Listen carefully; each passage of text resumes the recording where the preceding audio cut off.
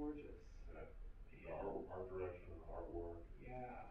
There's love story going on, also the action, Right. Matrix. Kind of like female empowerment, a little bit going on, you know, there are a lot of female protagonists. No, people. You. That you- kick the crap and it's of all the like- guys. Right, and you, at one minute you would like dislike them, and then the next minute you like them, so it's like, there was a lot, there was a complexity to the character. that's what, that's cool. Yeah, that, that, uh, I forget the actress's name, the younger one. Yeah. Oh my god, dude, she was like, shoo, shoo, shoo, shoo. I know, I on know. How about that scene when they're on tree line? Uh, yeah, when they're cli- climbing How did they do that?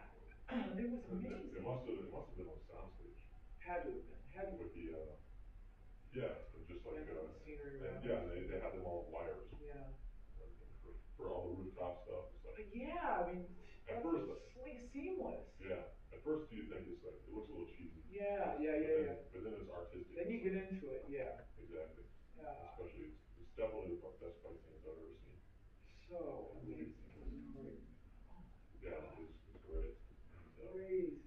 Like, what was the girl's name, Mary Jade, or what was her name? The, the evil woman, Oh yeah, Jay. Jade Fox. Jay Fox. Yeah, Yeah, she- she was a trip. She's good. But that last scene when she comes out with all those needles, Those needle- needles. That's crazy. completely so cool. Yes, I haven't seen any other movies lately. Mm-hmm. Have you seen anything? Last movie I saw was Movie. Chocolat. I didn't get to see. What did you think?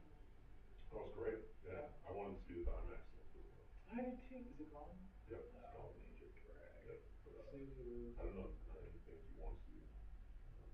I wanted to see. I wanted to see some other smaller films, but